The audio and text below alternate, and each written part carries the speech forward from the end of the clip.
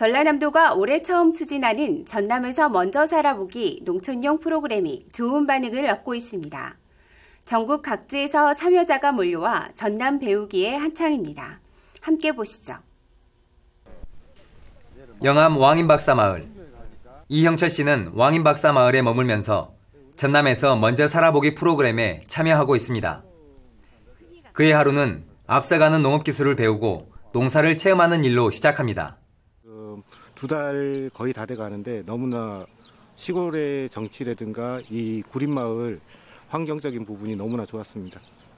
어, 이런 프로그램이 앞으로 더 확대돼서 농촌에 대한 뭐 편견이나 선입견 이런 거 없이 사람들이 한번 체험해보고 귀농 귀촌 전에 한번 이런 생활 해보는 건 굉장히 중요하다는 생각을 합니다. 전남에서 먼저 살아보기는 귀농이나 귀촌하는 과정에서 생기는 문제를 해결하고 지혜를 얻을 수 있는 농촌 체험 프로그램입니다. 직접 농산일을 도우면서 현장을 몸으로 익히고 마을 주민과 원만하게 어울리는 소통 방법도 배웁니다. 신청자 대비 숙박 시설이 좀 부족해서 좀 가능하면 마을에서 좀 숙박동을 확보할 생각이고요. 일단 벌써 저희 마을에는 한 분이 전입 신고를 하셔가지고 정착을 하시고 계십니다. 올해는 치열한 경쟁을 뚫고 440명이 선정돼 30개 마을에서 프로그램에 참여하고 있습니다. 이 가운데 수도권과 영남권 참여자가 58%가 넘습니다.